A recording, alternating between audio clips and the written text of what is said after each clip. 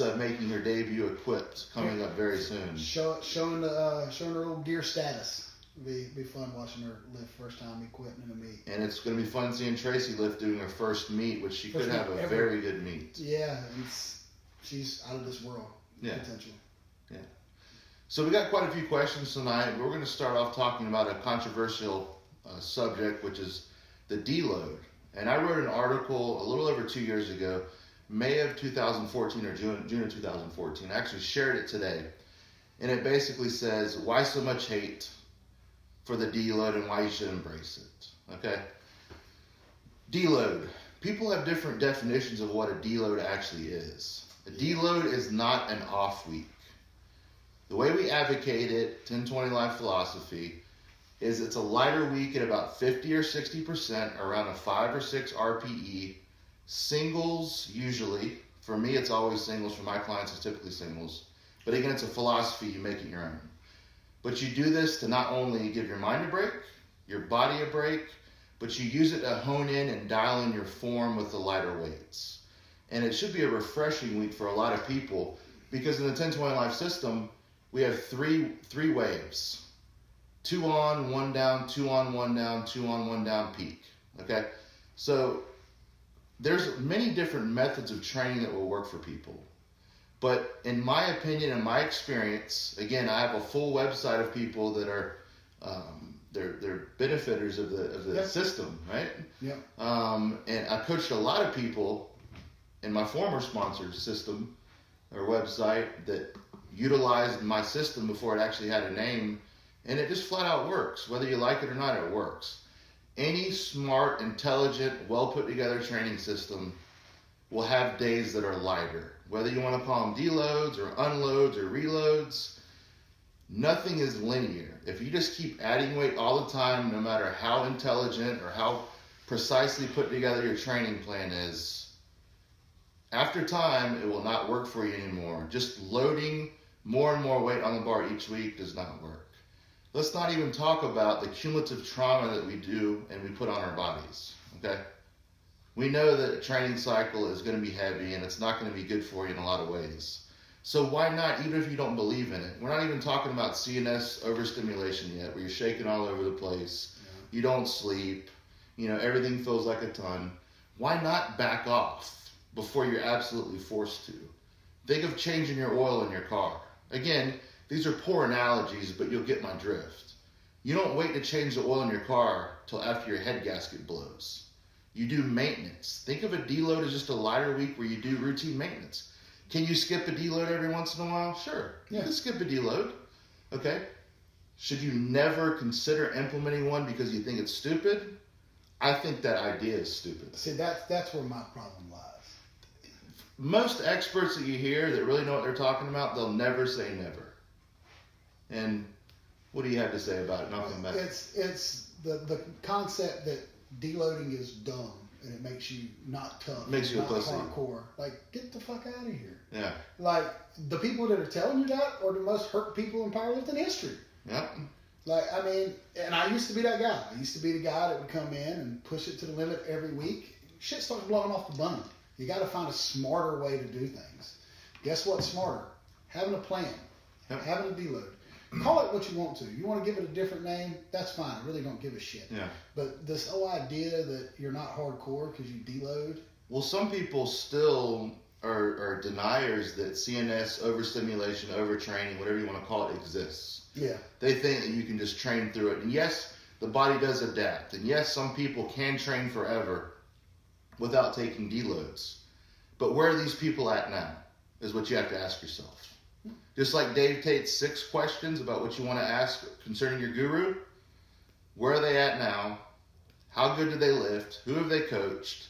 And it goes on and on and on. You have to ask yourself these questions, not just their social media following, not just what's behind their name, but what have they actually done and who have they actually coached is what you have to ask yourself. Many systems work out there. You don't have to ask yourself, who is Louie Simmons coach? You know Yeah. because they're the best of the best. Who is Rick Hussey coach? You know because they're the best of the best.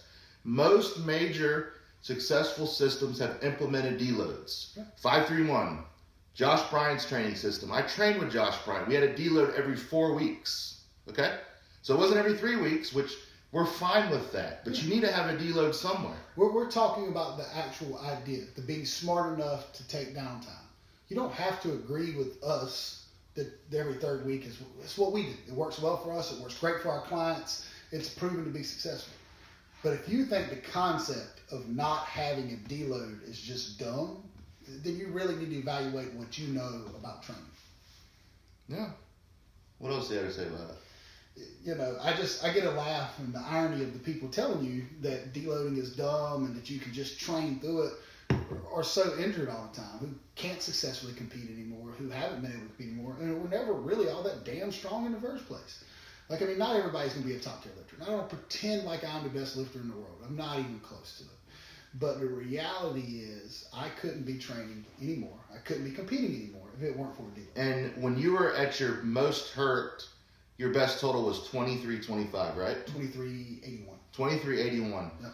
And since then, At 320 pounds. You know, cutting. that's as far as he got while training in the way Yeah. that he wanted to train without deloads, being bullheaded, pushing through no matter what. Yep. Since then, he's training less. He's in a lighter weight class, and he's told 120, 119 pounds more Yeah. since with a half a pec, Yeah. with the adductor torn off, with a bicep half torn off. And did that at the Arnold, the you know hardest probably meet that I'm going to be able to find to do. Right. You know what I mean? It's not like you did it at, did it at a local meet. You Yeah. Know? I mean, it, it's it's proven its benefits to me. It's proven its benefits to my clients. I mean, hmm. it's Well, everyone on the website and every one of our clients, again, you've got to ask yourself: Are you training? Do you want to train all the time and not take a deload for for what reason? Is it because you love training so much that you're going to go psychotic if you don't have enough an outlet? Well, that's not the case. You're still going to train. People once again have this idea of a deload is you go in there and, and hop skip around and, and and play touch butt with your friends and go home. That's not what it's about. It's a building block for the next week, is what it comes down to. Hmm. It's a way to get fresh mentally and physically, refine your form, and then propel yourself to the next week, especially if you're in pre contest training. correct. And we have a whole host of people that didn't really buy into it until they tried it. Yeah. So you've got to ask yourself, what is the end result you're looking for? Are you trying to just feel good week to week by training and not ever taking a break? Or are you looking at the big picture and when you're done, do you want to be somewhat in one piece? Do you want to know that you've went into your sessions rested and recovered and maximize your time in powerlifting? I'm not saying that you don't need to train hard, but training smart and intelligently, in most cases that I've seen, should include lighter weeks every once in a while, Yeah. no matter what you want to call it. You know, we're playing semantics at this point, but But lighter weeks should be a part. you, you should just be able to train through that, man. You should, you know, more more rest and recovery. That's all we ever did. Yeah, Get out of here. yeah, I- I don't really agree with that. And uh, people are, you know, they're entitled to their opinion about how to train and everything, but you got to look at what kind of a lifter were they? What kind of a coach are they? You've got to ask yourself this. And again, it's not about how dramatic they're saying it or how nonchalant they're saying it. Look at the results, the proofs in the pudding. Yeah.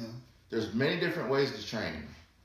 Deload is just one of the tools in your toolbox, just like speed work, just like different, you know, recovery tools. Yeah. There are things that you utilize, and to say that that is stupid without any kind of context is actually stupid.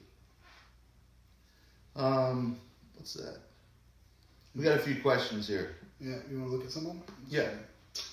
Uh, good core, core work exercises and how often. That's an easy one. You want to go ahead and jump that one? Yeah, good core work, exercises, McGill Big Three, stir the pot, different versions of side bridges and planks. Um, McGill Big Three is the bird dog, the roll to side plank, and the uh, McGill curl up. Um, those are the, the, the four best that, that I can name uh, for you, and, and I utilize them weekly. Um, we still have a shirt. Yeah. no, no shirts sold out. We're all at the Fit Expo for for this weekend. Yeah, yeah, we're we're going to the SoFit Expo to, to move them out. Now I can talk with authority on why deloads are important because most of you know that I really hurt my back a few years back, and the injury actually brought me full circle, getting to know Dr. McGill, applying a lot of his things that, that he's taught me. And one of those is being an athlete 24 7. And a lot of people scoff at that as well, just like the deloads. In phases of your training, they scoff at it, say, oh, it doesn't matter what you're doing outside the gym. Doesn't matter how you move. Doesn't matter if you deload. Well, again, ask yourself, who are these people saying it? What have they done? Who have they coached? What kind of shape are they in right now? I'm pain free day to day. I don't know about you. Um, and I'm lifting at my best. Now, this back issue that I had did bring to my attention that I was pushing too hard.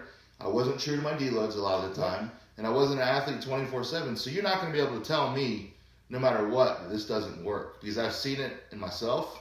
I've seen the research behind it. A lot of the stuff that, that I've known instinctively has been corroborated with, with some of McGill's research and science. And we see people like yourself, Yeah.